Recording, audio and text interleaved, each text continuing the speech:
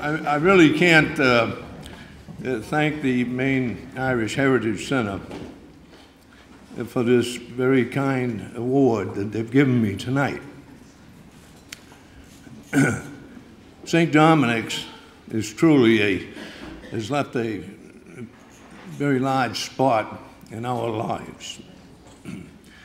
I, I can only remember, it seems like it was only yesterday, that I was working Beano games in the school next door. And we had AA meetings over at the, the school. You've heard of a lot of, about the good things that took place in my, my life, politics. And I always like to remember that things weren't always that great with uh, Gerard P. Conley Sr. If Jerry made it sound like I was a little tough on the boys during the years. Uh, maybe I was, but the one that laughed the loudest was the guy that I was laying on the most.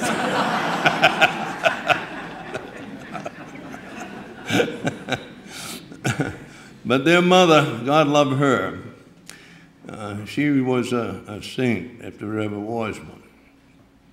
Right? She took good care of them, and uh, uh, she treated them with all the compassion that one could ever expect.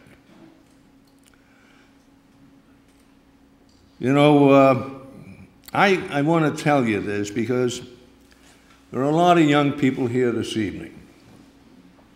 Back when I was 11 years old, I was Peck's bad boy. My parents were the greatest parents, as any kid would say about their parents, the greatest parents that you could ever want. But I made their life miserable. I made their life a nightmare. And my brother David and his wife Jane are here from Pennsylvania uh, today to pay tribute to the patriarch of the family. but it always wasn't that way. I became, when I reached 26 years of age, I had already destroyed, destroyed whatever kind of hope that I may have had in the future of gaining something. I had a terrible problem with alcohol. But I remember uh, one evening, after uh, knocking my head against the wall too many times, my father always told me, Jerry, you keep it up. And he said, you can hit that wall as high as you want. Your head's going to get a little softer, but that wall is going to stay solid. One day I decided it was time to do something about it. And I went down to 379 and a half Congress Street, the E.C. Jordan building right across from the Central Fire Station. Alcoholics Anonymous was up on the third floor. And I remember going up those three flights. And I got inside that room, and I looked around, there were about 20 people there. And I can assure you that most of them were in their 60s, 70s, and late 70s. And this young lad at 26 years of age didn't feel at the moment that he really belonged there. But as I came through the door, I happened to notice on the wall was this very huge framed poem. And I looked at it, and I'm going to hope I can remember to give it to you tonight because it hit me right between the eyes. It goes something like this When you get what you want, you struggle for self. And the world makes you king for a day. Just go to a mirror and look at yourself and see what that man has to say.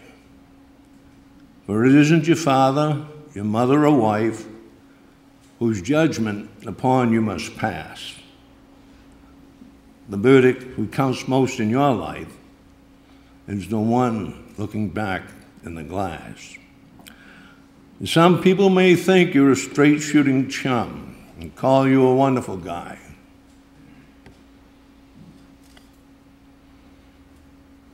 Just a second.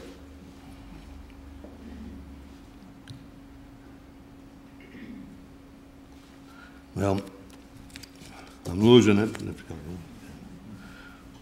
Oh, okay. But the man in the glass says you're only a bum if you can't look him straight in the eye. For he's the fellow to please, never mind all the rest. For he's with you clear to the end.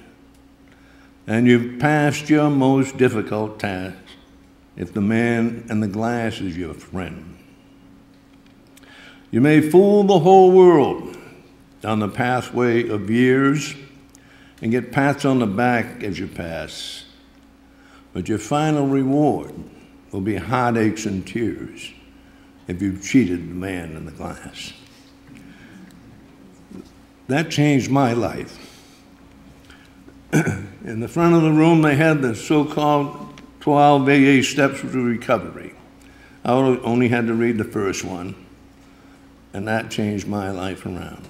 And that clearly stated, and I accepted, that I couldn't drink that it made my life unmanageable if I just took one sip.